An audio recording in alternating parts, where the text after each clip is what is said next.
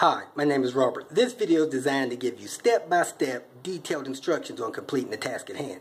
Please read the comments in the About section of this video. It has valuable information and updates.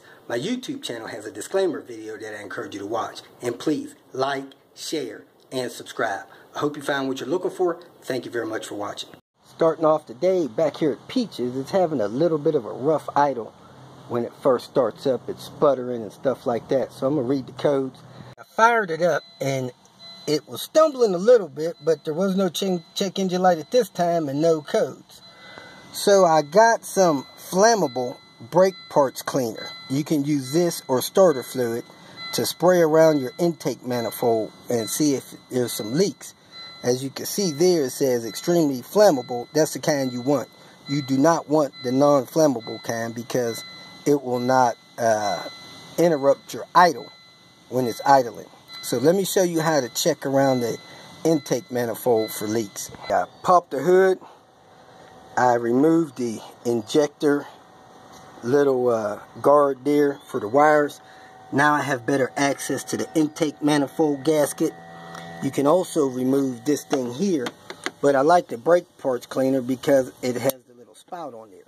So what you want to do is start the car and spray around the edges of the intake manifold gasket. While the engine is running and you're spraying around the intake manifold and other uh, intake lines, if there's a leak or a, a part of the engine that's not sealed properly, the idle should change. It may rev up or something like that. So let's start the vehicle and see how this is going to work out for us. Alright, so I got the little spout on there. It sprays like that. Let me fire the car up and let's see if we can find a intake leak. Car is running and it seems pretty smooth, so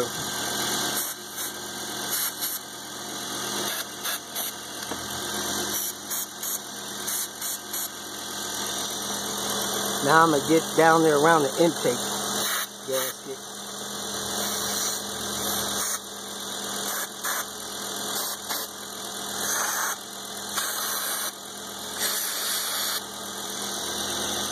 I don't see any or hear any changes in the idle. And that's what you're looking for, some changes in the idle.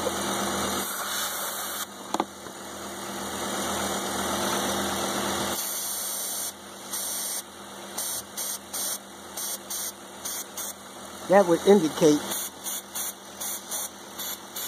that the engine is sucking in some of the brake parts cleaner.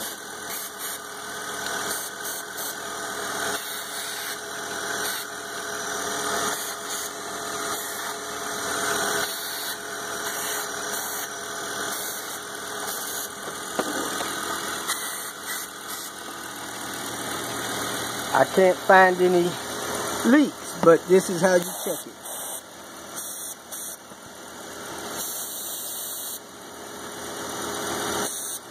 Okay, that's good. So you can spread around some of the other vacuum lines just to look for vacuum leaks. But I don't see any issues here and I don't see any code just yet. So let me spray around a little more. If you feel that this information was useful, please like it and share it with your social media friends. You can subscribe to my channel so that you will get notifications of future videos that I post.